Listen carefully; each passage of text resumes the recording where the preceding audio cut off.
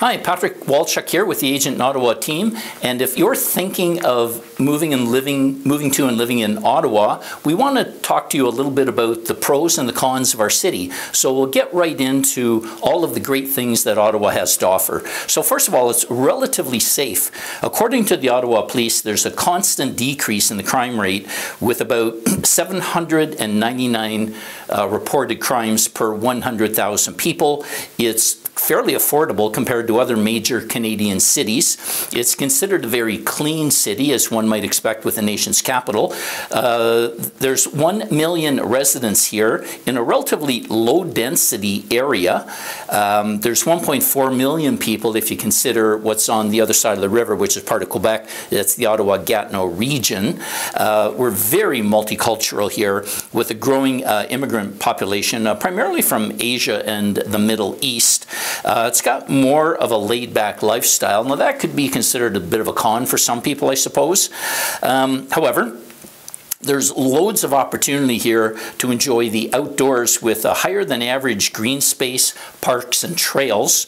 Uh, there's an abundance of waterways like the Rideau River, the Ottawa River, uh, the Rideau Canal, uh, the largest skating surface in, in the world, uh, except it didn't open this year uh, because it was too warm.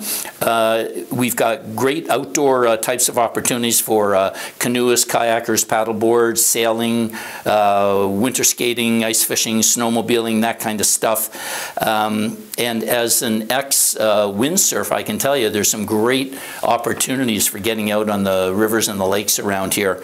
Um, for snowmobile enthusiasts, Ottawa residents have access to 43,000 kilometers of interconnected trails uh, throughout Ontario, and they're maintained by the City of Ottawa. There's many dedicated paths for cyclists, uh, as well as along the road, uh, pedestrian and transit-friendly city. Uh, we've got good transit services considered to be good anyhow, uh, but sometimes now they're not so great. We're going through some growing pains with our LRT system, but when that is is sorted out and uh, some new extensions we have the where the construction is finished, I think we'll have a very good light rapid transit and overall transit system. Uh, we've got some of the best museums in the country. Uh, the surroundings of the city are just you know beautiful. Uh, we got nice warm summers here, uh, relatively low unemployment, uh, so we have a very stable economy roughly a quarter of our economy is uh, federally employed based people. Um, Proximity to Quebec uh, provides that French influence of the lifestyle and food, uh, which is uh, very appealing to anybody who kind of wants a you know a flavor of France right here in in Ontario. Um, Montreal is only two hours away, uh, which is uh, absolutely wonderful. Um, the Byward Market has lots of great uh, restaurants, nightclubs, outdoor shops. There's a large farmers market. They're they're in various places across the city.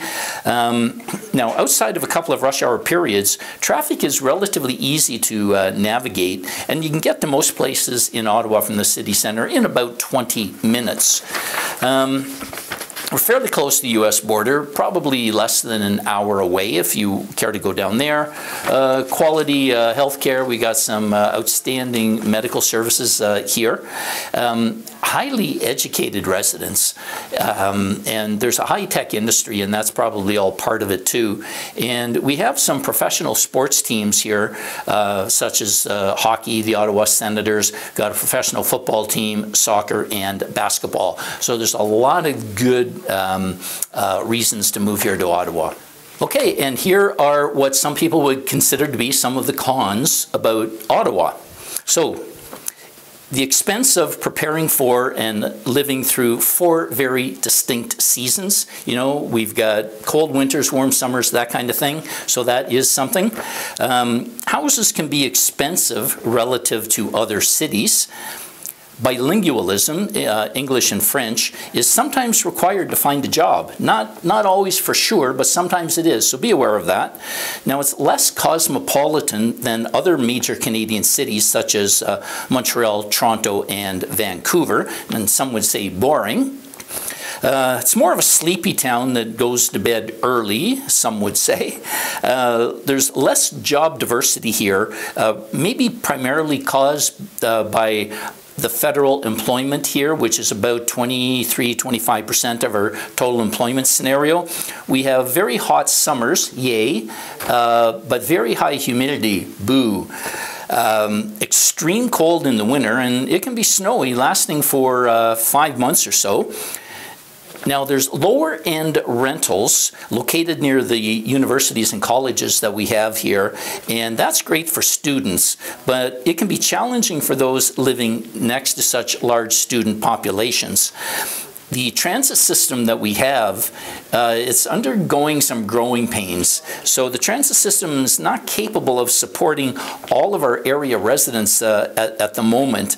Um, however, the O train is expanding south, and we're going through an expansion of a light rapid transit system, LRT, phase two, that's expanding to the east and the west. So that's not yet completed. And that O train is going south. Currently, that's not even running. They have a bus line that's running parallel to it. So the transit system is uh, in a bit of upheaval at the moment.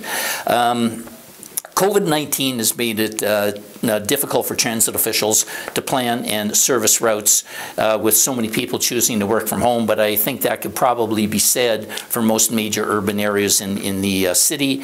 And we do have, unfortunately, uh, significant homeless population, and that's primarily, primarily located in the downtown area in a place called the Byward Market.